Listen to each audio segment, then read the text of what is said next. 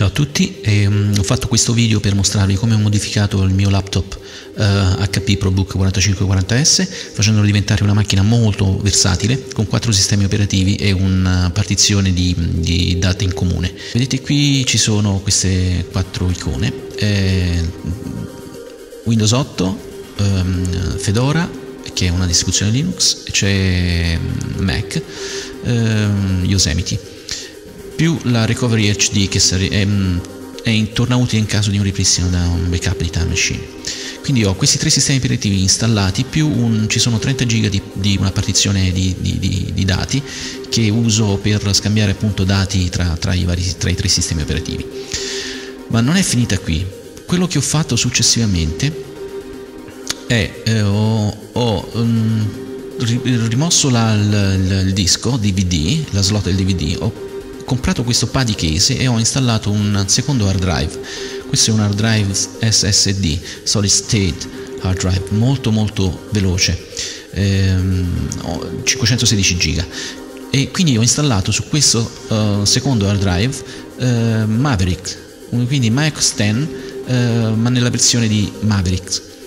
Eh, questo mi permette di avere eh, due hard disk ehm, all'interno della stessa, eh, della stessa macchina e quindi mi permette di utilizzare mm, di, la macchina in diverse situazioni. Ecco, vedete adesso al, al, al secondo boot eh, appare anche l'altra partizione che ho chiamato Packintosh e più il Recovery HD per la, l'altra partizione. Quindi praticamente ho quattro sistemi operativi su, mm, su due hard drive e più una partizione di dati in comune di 30 giga. Eh, ripeto, è una situazione molto versatile che mi permette di poter anche ehm, in alcune situazioni estrarre il, il secondo hard drive e, port- e, portarlo con me e quindi lavorare in esterna, e, oppure di utilizzare i sistemi operativi in, eh, sulla stessa macchina. Allora, questo è Windows 8 e velocemente farò l'avvio di tutti i sistemi operativi solo per dimostrarvi che funziona tutto perfettamente. E, ehm, questo è Windows 8.1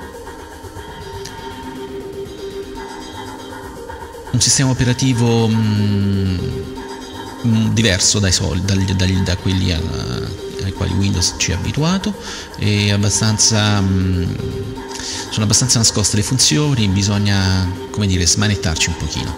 Ehm, ecco, questo è, il, è lo screen. Ehm, sulla sinistra abbiamo le, le, le varie finestre e, sul, e, e anche il pannello di, di dati di controllo e menu. E sulla destra invece abbiamo il menu per um, le impostazioni e anche per um, in questo caso per le funzioni di power. Quindi noi facciamo un restart. E, e ripartiamo con Fedora. All'avvio. Fedora è una distribuzione Linux, è un sistema operativo molto molto stabile, probabilmente è tra i più stabili al momento e questa è nella versione 21, ehm, l'ultima, ed è un, uh, un open source quindi distribu- tutti i software sono distribuiti liberamente, sono ovviamente mh, mm, è possibile ehm, modificarli, è possibile di ridistribuire la, il source o il, fare delle migliorie se, se, se volete impegnarvi a, a farlo, eh, quindi ci sono tutte le, le, source originali, sono tutti programmi appunto gratuiti e, e liberi di, di, di, di, scaricare e ridistribuire.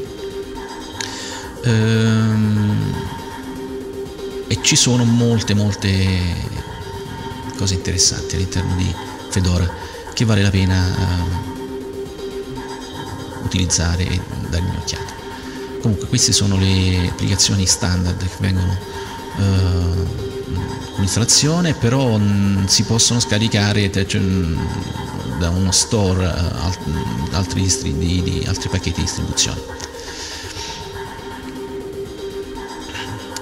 Ok, uh, facciamo un, uh, logout, ok, facciamo un restart da um, Fedora e andiamo adesso a um, uh, Yosemite.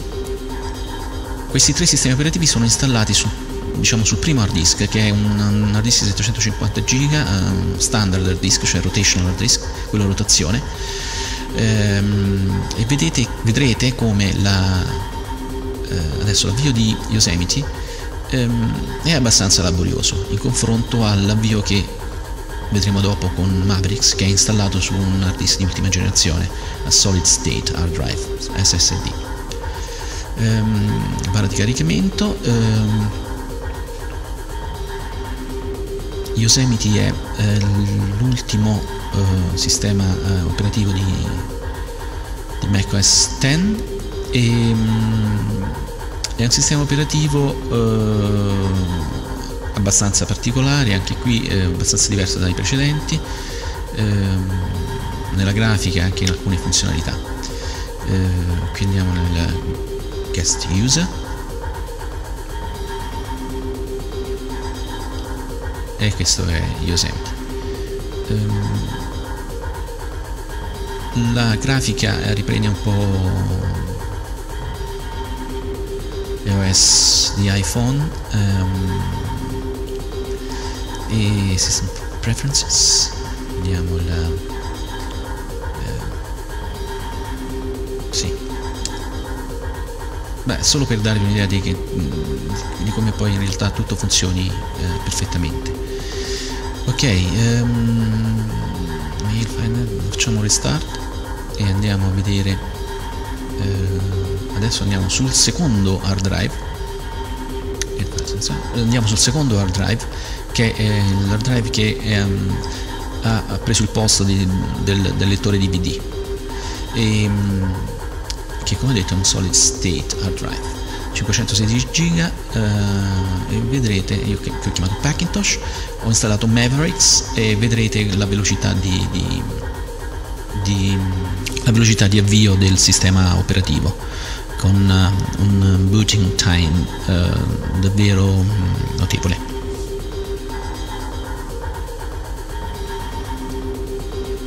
Boom. Pronti. Andiamo su guest user ecco velocissimo.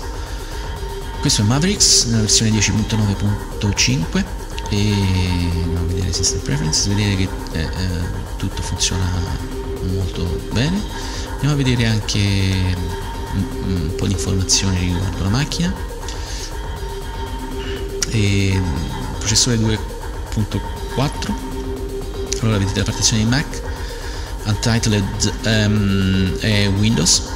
Data sono i 30 giga 29.4 giga di, di, di, partizione comune di, di, dati in comune. E poi c'è Packintosh eh, non, c'è, eh, non, non, non, c'è Linux non c'è Fedora.